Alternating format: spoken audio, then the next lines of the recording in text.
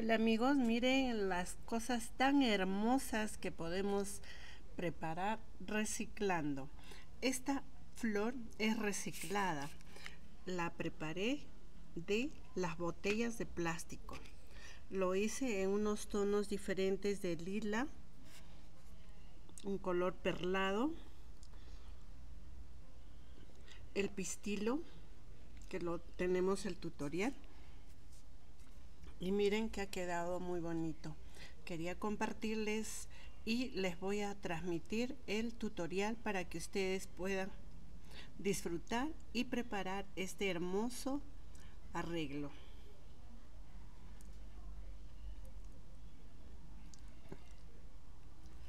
Espero les haya gustado. Regálenme su like suscríbanse compártanlo. Gracias a